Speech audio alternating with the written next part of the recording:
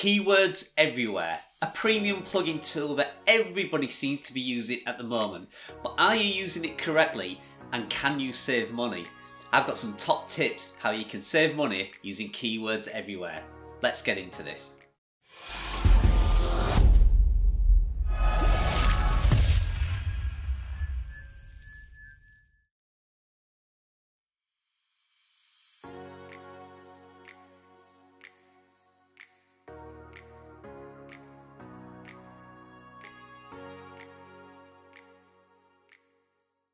Okay, so first of all, for those of you who are not familiar with Keywords Everywhere, what is it? Well, Keywords Everywhere is a premium extension tool that can help you find keywords and also show you the search volume for these keywords. It also has a few other little tricks like it can show you trends within Google and it can also give you some ideas and some a bit of inspiration to actually find some relevant keywords or topics for you to write for your blog. So before we get into this, let's see where you can actually install the extension. It is a premium extension. It does offer some free functionality, but the majority of us will be paying for some of the premium features that it has, which will include showing you search volume for keywords. So first of all, let's head over to Keywords Everywhere and see how to install it. So you can see on the screen here, I've just typed in keywordseverywhere.com. So here we are on their homepage and you can see that it's available to install on Chrome as an extension and it's also available on Firefox. But the majority of people probably will be installing on Chrome. So the first thing you're going to want to do is add it to your Chrome uh, extension tool. So first thing we do is click add to Chrome. So once you've added the extension to your uh, toolbar, you click the little icon in the top right hand corner. So then you need to get the API key. So we click this little uh, menu icon that says get API key. Then all you'll need to do is simply add your email, tick the relevant boxes to say you agree with their terms and conditions, sign up their email letter if you wish, and then click email me the API key. You'll then receive an email. Now, this email can often take five to 10 minutes, so don't panic if you don't instantly get a reply. But once you do get the uh, email, and you are going to want to check your spam box, mine did drop into the spam box. Go to your emails, find the email from Keywords Everywhere, and in there, there's a little link that says um, activate your API key here. So once you've entered your email address, you will eventually get an email which will have a little link in it here. Please click here to access your API key. Once you click this, you're taken over to the Keywords Everywhere API key where you simply copy the API key and then you want to head over back to the little extension uh, in your toolbar, click that, and in there it'll say settings click settings and it'll ask you in the top left hand box to enter your API key. So you simply paste your API key in there and then you click validate. And then as you can see here, it'll say there that the API key is now validated. And then you're all set, you're good to go. Now, what I'm going to do is show you some of the functionality of uh, Keywords Everywhere and how it can be relevant for you to find low competition keywords and uh, search volumes and trending uh, keywords or topics within the SERP index. Then I'm going to come back to this page here because I have a few tips and tricks for you. So you're going to want to stay with me through this video for a few more minutes and then I'll get back here and we'll show you how to save some credits uh, using keywords everywhere. So let's have a look at what this tool can actually do. Okay, so I've picked a, a little topic that my um, children have been doing at the minute, which is stone painting. I don't know if you know about it. It's a little trending thing that's going around. So let's have a look at stone painting and see what that comes up with. So as you can see here in the top left hand corner, it's saying that the search volume at the minute is 49,500. It also tells us the CPC um, cost, so that's the cost per click, something I'm not really uh, into. That's for paid advertising, so it's not really relevant for us. And also the competition here is not competition for keywords, so don't get that mistaken. Again, it's for competition for paid advertising. So I don't really worry about that. Using this tool, I simply use it for the search volume primarily. But then if you have a look on the right hand side, and these widgets is where uh, I think you get the most benefit from keywords everywhere. And there's a little tool here that's not often used, but it is where some of the pros and cons comes into it. So let's have a look first of all. So the first widget bar, you've got the um, trending data. And as you can see here, stone painting is starting to come into a, a little bit of a trend. So um, it may actually be a, a niche for you there, um, stone painting website. Um, you can see here it's you know at an average search volume around 36,000 per month and it's peaking now 71,000 48,000, 60,000. So it seems to be on a little bit of an upward trend.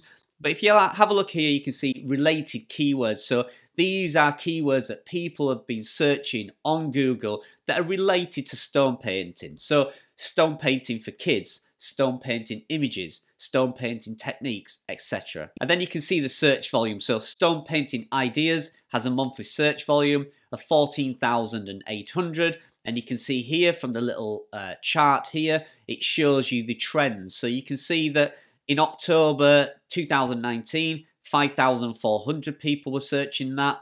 Uh, but then in May 2020, it's now up to 33,000 per month. And currently, uh, September, we're now in October 2020, but the last bit of data there, September 2020, stone painting ideas was still getting 18,100 searches. So still a popular search term. And then as you look down, you can see people also search for these um, keywords here. So stone painting for kids, rock painting ideas. So stone painting and rock painting. Google will pick up that that's a similar kind of topic. Um, large rock painting ideas, animal rock painting ideas. So you, you can see where um, the tool is used and see how it's used to find uh, inspirational ideas. So every time the program or the tool uses an API request to find a keyword, it is going to use a credit. Now, if you look here, 92,350 credits. So if we now search something else, so I've clicked easy stone painting designs and you can see that that now has gone down. So it reduces your credits every time it pulls an API request in. Now, this is where the pros and cons come in. So First of all, what's the pros of using this? So it shows you the search volume, which will give you an indication of how popular that keyword is. Although it is a premium tool, it also has some free functionality on it. It's a great tool to use for finding inspiration if you've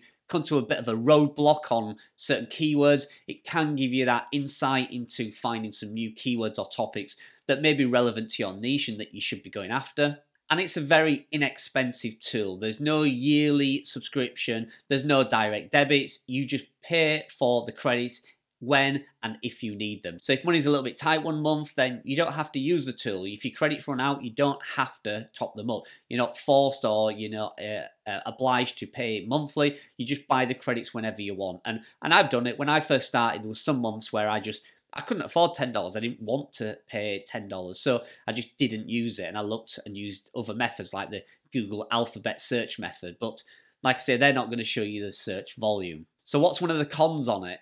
Well, the cons are these widgets. Uh, if you look at these widgets, every time you pull a search in and you have these widgets open, you are using a credit. Uh, so if you can see here, so we've typed in easy stone painting designs.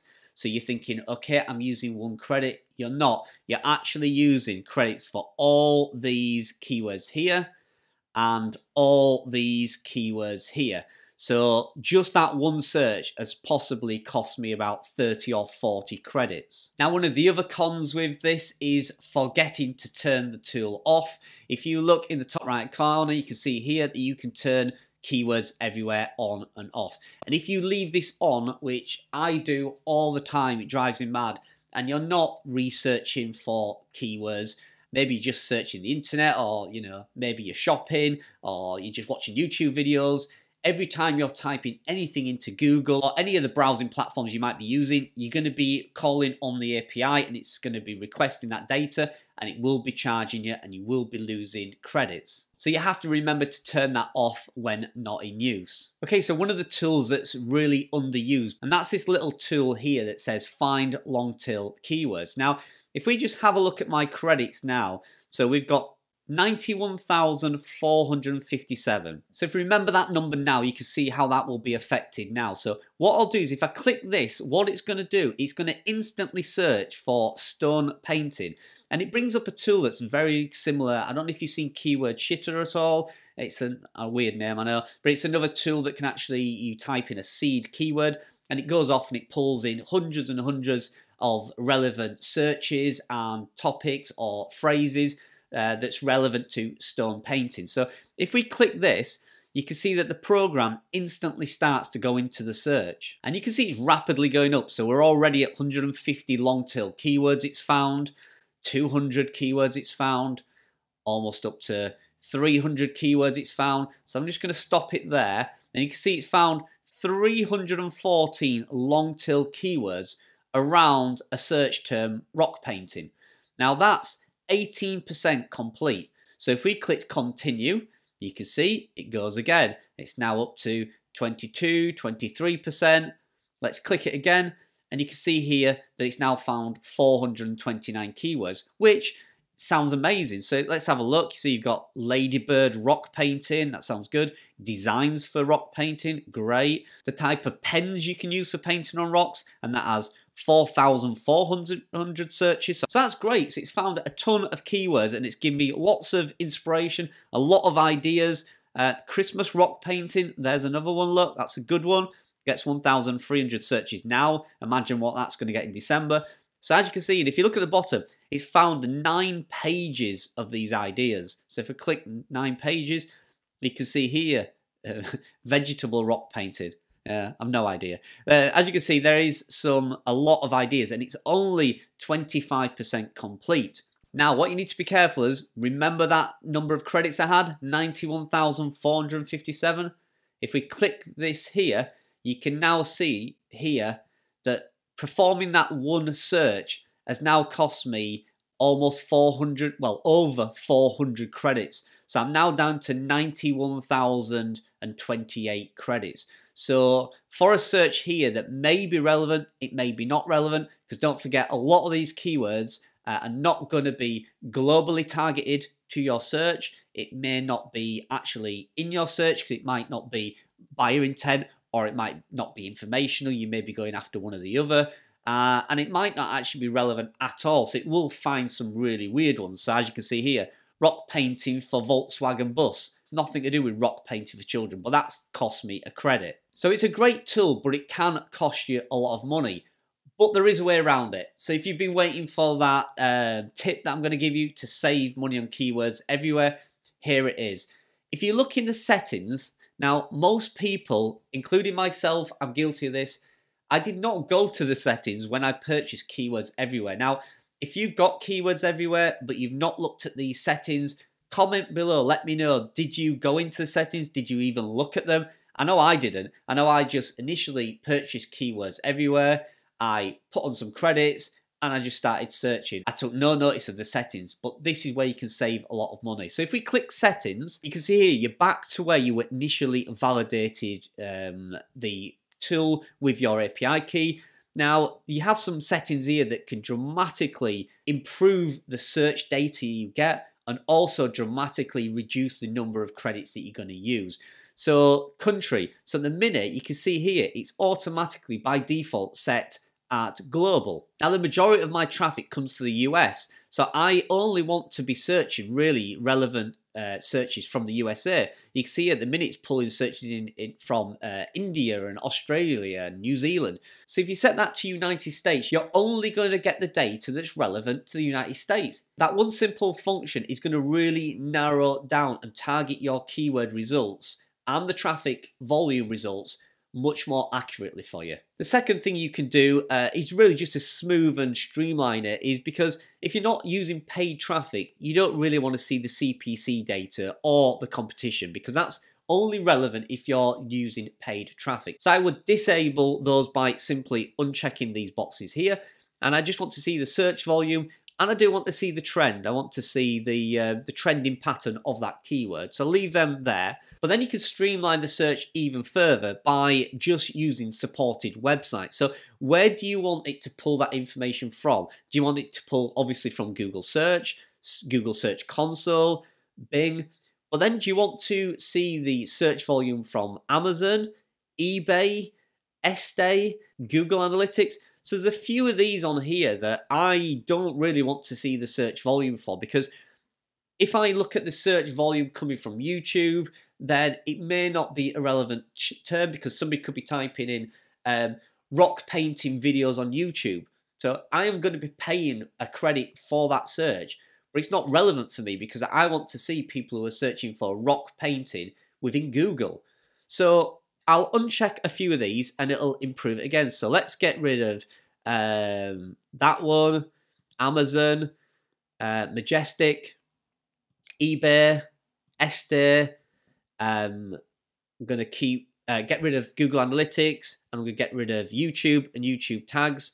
Get rid of that one and get rid of that one. So I'm just going to keep the main search uh, volume. So I'm going to mainly keep Google search, Bing search, Yahoo search, uh, Answer the Public, DuckDuckGo, a few of those. So then once you've selected your supported websites, you can also go to your miscellaneous settings here where you can switch off some of those widgets. So these widgets that we saw here on the right hand side, you can switch those off. So you can see here like the Google trending YouTube chart, you can switch that on and off. Uh, and there's various boxes that you can switch off and this will be relevant for these widgets that show up on the right hand side so again you can streamline it but simply by selecting the country and selecting the supported websites, you've now really narrowed down the amount of credits that you will use every time you do a search. You will also improve the search quality and the data that's coming through. So when we go back here, stone painting for kids, if we refresh that, we are now narrowing down this search to just the relevant country and also the relevant search data, where, i.e. where it pulls that data from and that way we're getting the best information possible. Okay, so there you go, a little tip for using keywords everywhere, a little tip that might save you some credits and a little bit of money. It is a very inexpensive tool and it's one that I do personally use. Like I say in the video, I would take the search volume, I, would take it with a pinch of salt. It's not always accurate and I certainly don't go or live or die by the search volume that these plugins and, and even other tools uh, tell you. Uh, I go off a lot of instinct and a lot of research and a lot of background data to, to decide if I should actually go for one of these keywords or these topics. So don't rely on what you see 100%, but it's certainly a good and inexpensive tool that can help you uh, find some new keywords or some new topics to write about. And with that tip, hopefully it'll save you a few credits because as we know, every little penny counts and every penny you can save is more content you can produce for your website. So I hope you found that helpful. If you're new to the channel, please do subscribe and click that little bell icon. A lot of you are subscribing, but not all of you are clicking that bell icon and you're missing out on some great videos. So thanks for joining me and I'll see you in the next one.